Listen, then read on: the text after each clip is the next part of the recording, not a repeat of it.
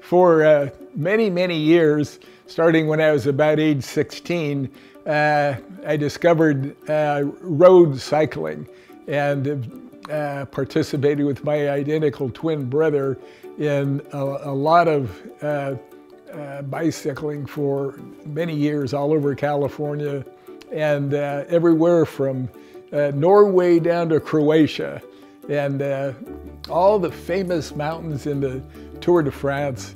we've climbed them all. It's just been a wonderful experience to have that bicycle as a great form of relaxation and also exercise. I think it's what's kept me looking so young. When, when we, uh, we first discovered Revel Folsom, uh, I, Iron Point Road is a very busy bicycle thoroughfare.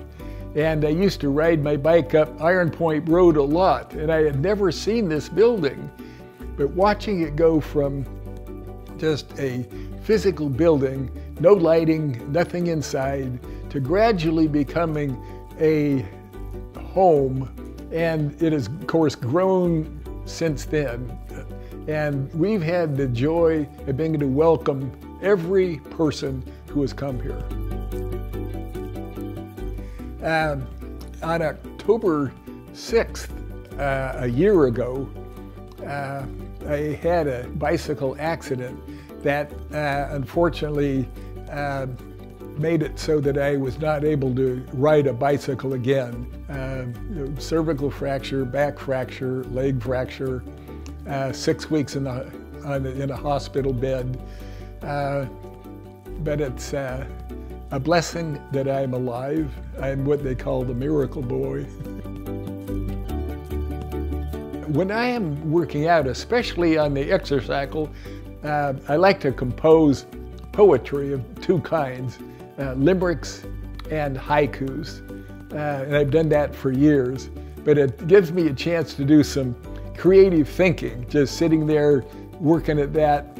And sometimes I come up with something, sometimes I don't, but uh, it's, uh, it's a fun hobby.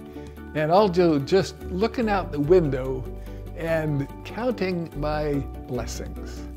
Um, I'm, I'm big on that. I'm a very thankful guy, and uh, I never pass up an opportunity to look at those gorgeous oak, oak trees and see the squirrels climbing around and uh, say thank you for the blessings I have in being here because I, after that accident, um, I almost wasn't.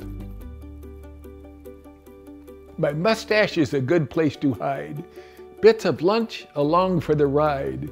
If I want a little snack, just tilt my head way back and little bits tend to fall inside.